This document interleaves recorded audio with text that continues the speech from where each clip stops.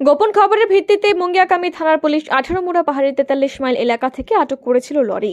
আশা করা হয়েছিল পাওয়া যাবে গাড়ি থেকে লুকোনো গাঁজা। সেই মতো পাওয়া গিয়েছে একেবারে গাঁজার প্যাকেটের মতো দেখতে বেশ কয়েকটি প্যাকেট। ততক্ষণ পর্যন্ত সবকিছু ঠিকই ছিল।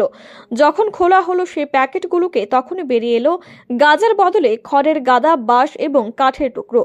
তখনই চক্ষু চরক গাছ হয়ে যায় পুলিশের। শুক্রবার পুলিশ গোপন খবরের ভিত্তিতে বহিরাজ্যের একটি মালবাহী লরি আটক করে পুলিশ। কিন্তু পরবর্তীতে তল্লাশি চালিয়ে গাজার প্যাকেটের মতো একেবারে একই রকম পঁয়ত্রিশটি প্যাকেট উদ্ধার করে। সে প্যাকেট থেকে বেরিয়ে আসে গাজার বদলে খড়ের গুঁড়ো, কাঠের টুকরো সহ নানান আবর্জনা।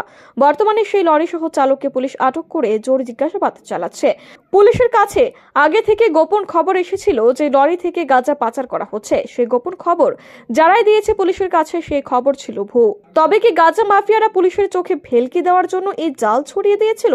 মনে করা হচ্ছে পুলিশের চোখে ধুলো দিয়ে হয়তোবা অন্য কোনো পথে পাচার হয়েছে কোটি কোটি টাকার গাঁজা। সূত্রের খবর, পুলিশের সাথে গোপন সম্পর্ক রয়েছে পাচারকারী চক্রের পান্ডাদের দাবি উঠেছে এই ঘটনার সঠিক তদন্তের। ব্যুরো রিপোর্ট আর ই নিউজ।